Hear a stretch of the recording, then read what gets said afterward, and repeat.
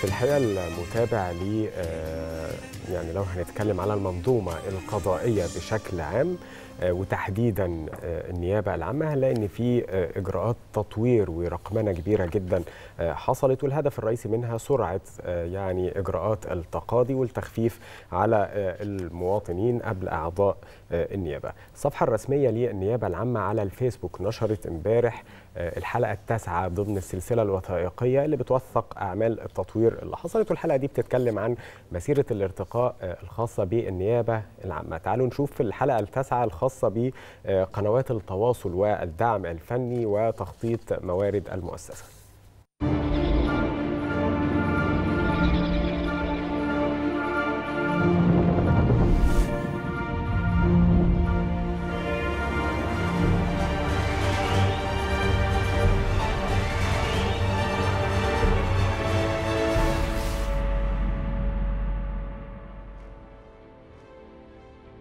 تنوعت قنوات الاتصال في النيابة العامة بين الأعضاء والموظفين من توفير وسائل لسرعة التواصل فيما بينهم وتقديم خدمات الدعم الفني للأجهزة والبرامج وكيفية استخدامها. كانت الفكرة من توفير الخطوط الاستراتيجية هو عمل شبكة اتصال مؤمنة ومشفرة ومغلقة بين قيادات النيابة العامة والسادة الأعضاء بما يناسب طبيعة عمل النيابة العامة من سرية المعلومات اللي بيتم تداولها أثناء مباشرة التحقيق. وبالتنسيق مع وزارة الاتصالات وتكنولوجيا المعلومات تم ماده 378 خط هاتف استراتيجي بين مكتب معالي النائب العام وجميع النيابات على مستوى الجمهورية. وتم عمل سنترالات داخلية في كل نيابه على مستوى الجمهورية لتسهيل التواصل بين السادة الأعضاء والموظفين. والحقيقة إن الخطوط الاستراتيجية دي حققت الهدف منها في فترة وجيزة جدا من خلال عقد اجتماعات عن بعد بشكل مؤمن وده أثر بشكل كبير في إدارة عمل النيابة العامة وتسهيل التواصل بين السادة الأعضاء.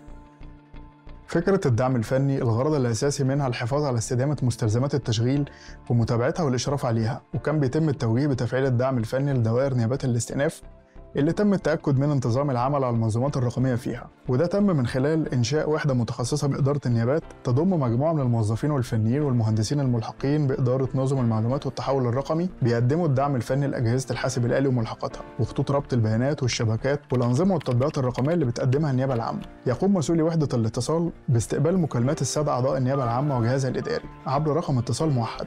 للرد على استفساراتهم وشرح خطوات العمل على المنظومة وحل المشاكل الفنية في ذات المكالمة. وفي حالة تعذر حلها بيتم تسجيلها على نظام مخصص لحلها بمعرفة شركات متخصصة في هذا المجال. بالنسبة لصيانة أجهزة الحاسب الآلي كان الخبير الرقمي للنيابة اقترح آلية لتقديم الدعم الفني للأجهزة عن بعد. من خلال تثبيت تطبيقات مؤمنة تسمح لمسؤولي وحدة الاتصال بالدخول على الأجهزة عن بعد وحل كافة المشاكل التقنية وتوفير انتقال الفنيين المختصين لإصلاح الأعطال اللي محتاجة تدخلهم بشكل مباشر. بالنسبة لملحقات الحاسب الآلي كالطابعات وماكينات التصوير والماسحات الضوئية فجاري تزويدها بتقنية ال QR code اللي بتعمل على سرعة تقديم الدعم الفني لكافة المستخدمين بالتنسيق مع كبرى الشركات العالمية في هذا المجال والوحدة تمتلك برامج وتطبيقات لقياس مؤشرات أداء العاملين فيها لسرعة تقديم الدعم الفني للمستخدمين والحفاظ على استمرارية وجودة الخدمات المقدمة لهم بالإضافة لأن الوحدة كان لها دور كبير في الوقوف على أسباب المشاكل الفنية في الأنظمة الرقمية وحلها بحلول جذرية. والمساهمة في تحديث برامج وأنظمة النيابة العامة بناء على تجربة المستخدم الحقيقية فكانت الوحدة ولا زالت بنك الأفكار لهذه التحديثات.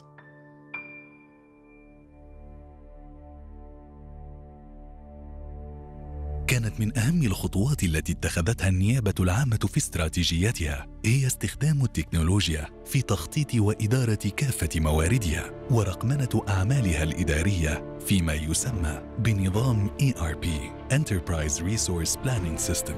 نظام ERP هي تكنولوجيا معروفة علميا بنظام تخطيط وإدارة موارد المؤسسات والمقصود بالموارد هنا هي الموارد البشرية والمالية واللوجستية. إلى جانب إدارته لموارد النيابة العامة بما في ذلك مستلزمات التشغيل الرقمية وأعمالها الإدارية فهو بيساعد أيضا على دعم اتخاذ القرار بصورة مباشرة في النيابة العامة وده من خلال التقارير اللي بيصدرها. بالإضافة إلى حصر موارد النيابة العامة في جداول وتسلسل معين بيساهم في الحفاظ عليها ده من خلال مراقبتها وحسن توزيعها واستخدامها وصيانتها وتحديثها بشكل دوري. وكل ده بيعظم الاستفادة من موارد النيابة العامة وبيضمن استدامتها. ومثال على استخدام هذه التكنولوجيا إن النيابة العامة هتكون قادرة على التفتيش على أصولها من خلال استخدام باركودز بحيث يكون لكل نيابة رسم هندسي يتم ربط فيه أصول النيابة العامة بالأشخاص اللي بيعملوا على هذه الأجهزة واللي بتكون داخلة في عهدته والرسومات دي أيضا اللي هتكون على البرنامج هتدعم النيابة العامة في حسن توزيع الأعضاء والموظفين وفقا لكثافة التشغيل في كل نيابة.